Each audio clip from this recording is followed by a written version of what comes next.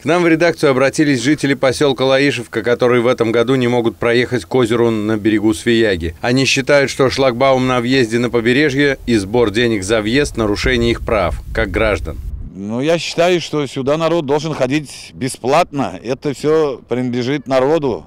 И это ресурсы народные, все вот это вот. И не должно за него мы платить. Однако наше законодательство трепетно не только к правам человека, но и бизнеса. Кто-то построил водоем, благоустроил территорию и взимает деньги за обслуживание. Чистую воду, чистый пляж, безопасность. Нет, это тут... Раньше я еще маленький был, тут стояли земснаряды, вырабатывали песок они для строительства, для нужд вот, города. И образовался котлован, заполнилось водой он сам, там родники били, дождей капали или лили, там, как говорится, все это. И вот образовался вот это вот, как озеро, как котлован. Это все э, природой сделано, все, как говорится. Людям не повезло. Водоем оказался на частной территории, принадлежащей ООО «Лаишевские овощи», поэтому формально ограничить проезд они могут. Командир, а что за шлагбаум тут? Частная, частная территория, платно 100 рублей с машины. Если Частная территория?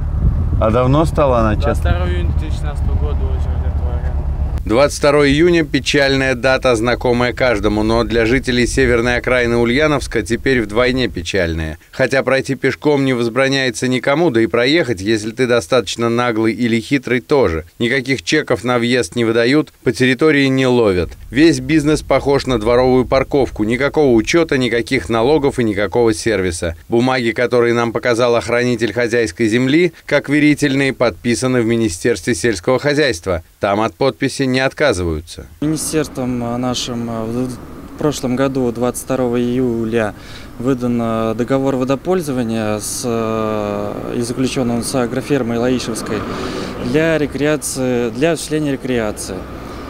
А, Также хотелось бы пояснить, что в соответствии с водным кодексом береговая полоса она как бы общедоступная, для общего пользования предназначена.